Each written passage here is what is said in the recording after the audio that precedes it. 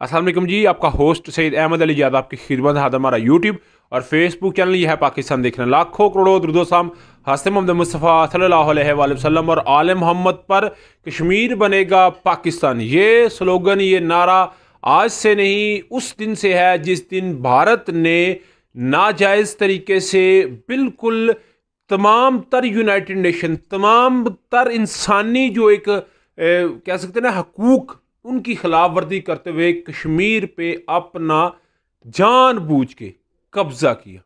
उसके ऊपर इलीगल उन्होंने उसे ऑक्यूपाइड कश्मीर डिक्लेयर करवाया।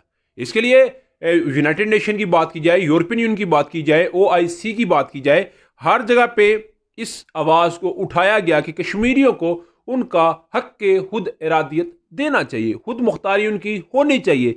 जो कश्मीरियों की आवाज़ है, उस पर लब्बायक करना चाहिए। मगर वही हट धर्मी वही खामोशी, वही एक प्रॉक्सीज, वही चापलूसियाँ मगर कश्मीर के लिए कुछ ना हो सका। मगर पाँच अगस्त 2019 को नरेंद्र मोदी, जो कि कश्मीर जो कि इंडिया के एक वज़ीर अजम है, उन्होंने और डेफिनेटली पूरी उनकी इस्टेब्लिशमेंट ने मिल के कश्मीर को बाकायदा तौर के ऊपर जो उसकी खसूसी हसीियत थी, और पाकिस्तानी याद रखिएगा एज ए पाकिस्तानी मैं आपको ये बात बता दूँ। हम चाहते हैं कि पहले कश्मीरियों को आज़ादी मिले। मेरा ये मानना है कश्मीरियों को आज़ादी मिले। वो उनका एक अपना मसला है कि वो अलग रियासत में आते हैं, या किसके साथ जाते हैं, मगर आना तो उन्होंने पाकिस्तान के साथ है। मगर कश, इंडिया कहता है कि नहीं, किस तरह दो कौमी नज़रिया, किस तरह रस्म व रवाज, किस तरह हमारे इस्लामिक दार इस चीज़ की इजाज़त देते हैं कि इंडिया के साथ हम जो है कश्मीरी मुसलमान बैठ सके। तो पाँच अगस्त को मोदी सरकार ने कश्मीर की खसूसी को ख़त्म किया, जिसको पाकिस्तान ने यूरोपीय यूनियन, यूनाइटेड नेशन ओआईसी हर जगह पर उठाया। और यही खबर, यही जो उनका एक इकदाम था, इसको सुप्रीम कोर्ट जो भारत है, उसमें भी चैलेंज किया गया।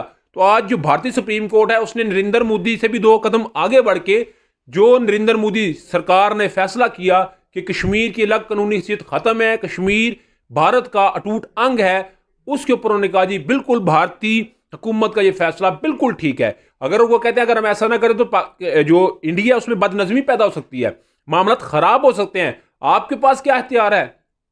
कि आप खत्े की जो है, वो डायनमिक्स को इस तरह बयान कर सके? कई जो है, हदोहाल को इस तरह बयान कर सके? कई मामला को इस तरह, जो है, वो डील कर सके? सुप्रीम कोर्ट तो होती है जहाँ पे इंसाफ मिलता है, मगर आज इंसाफ की, अगर किसी ने धजियाँ उड़ती देखी हैं तो वो इंडिया के अंदर जिस तरह के, वो कहते हैं ना काटने वाले, वैसे ही खाने वाले, पकाया भी जिन्होंने, खाया भी उसी है मगर आज भारत ने अपना एक और मकरू चेहरा दुनिया के सामने बयान किया, मगर पाकिस्तानी सदर हो, पाकिस्तानी वजारत खारजा हो, पाकिस्तान की इस्टेब्लिशमेंट हो, पाकिस्तानी अवाम हो, मैं खुद हूँ, यह पाकिस्तान हमारा चैनल। भरपूर इस इकदाम की मजम्मत करता है और पूरी दुनिया से इसका मुतालबा करता है कि फिल फॉर इस पर एक्शन लेके कश्मीरियों को जो उनका हक है वो मिलना चाहिए और कश्मीर तक ये आवाज़ बुलंद होगी। और देखें, इसके ऊपर बहुत सारी पाबंदियाँ भी आयद हो जाती हैं। हम मजीद अगर इसको डिस्क्राइब करते हैं एलेबरेट करते हैं तो फिर डेफिनेटली हमारे चैनल के लिए पाबंदियाँ आयद करनी शुरू कर दी जाती हैं। बहुत सारे मामला को इस तरह बयान करना शुरू कर दिया मगर एज ए पाकिस्तानी, हमारा ये हक बनता है, अगर तुम बुराई होती देखते हो तो उसको हाथ से रोको। अगर तुम हाथ से नहीं रोक सकते तो उसे मुँह से बुरा जानो। अगर उससे भी बुरा नहीं जान सकते तो दिल में बुरा कहो। ये ईमान का कमज़ोर तरीन हिस्सा है। मगर हम उसे मुँह से इस चीज़ की जो है वो मजम्मत करते हैं और मुतालबा करते हैं पूरी दुनिया से कि इसके ऊपर फिल फोर जो है वो कोई ना कोई इकदाम उठना चाहिए। उधर जी, अगर पाकिस्तानी थोड़ी सी सियासत की मैं बात करूँ तो पाकिस्तानी सियासत में इलेक्शन कमीशन ने आम इंतबात के लिए 2024 के लिए एक सौ बयालीस डी आर ओज और आठ सौ उनसठ आर ओज की तैनाती की मंजूरी दे दी है। डी आर के लिए डिप्टी कमिश्नर आर ओज के लिए असिस्टेंट कमिश्नर या ग्रेड सत्रह के अफसरान की तैनाती की मंजूरी दी गई है। इलेक्शन कमीशन ऑफ़ पाकिस्तान बाबा नोटिफिकेशन जल्द जारी कर देगा। इसके ऊपर मामला याद रखिएगा।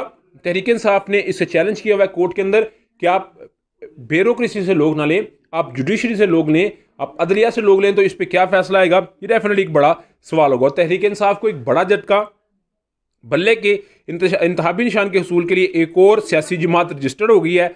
हम अहम अवाम पाकिस्तानी पार्टी ने इंतबी निशान बल्ले के हसूल के लिए इलेक्शन कमीशन में दरख्वास्त जमा करा दी है। तरीके इंसाफ इंटर पार्टी इलेक्शन के इनका में नाकाम रही दरख्वास्त का मतन। बल्ले का इंतबी निशान खाली है, किसी पार्टी को दिया गया, ना किसी पार्टी ने मांगा है दरख्वास्त का मतन।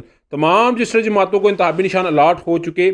हमारी जमात को अभी तक इंतबी निशान अलाट नहीं हुआ। बल्ले का इंतबी निशान हम अवाम पाकिस्तानी पार्टी को अलाट किया जाए।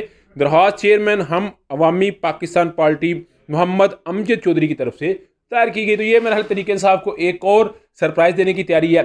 आप क्या समझते हैं कि सरप्राइज़ है या कोई तरीके साहब के लिए नया महाज गर्म हुआ है? नेक्स्ट वीडियो तक के लिए होस्ट को जादी अल्लाह का हमिला असलम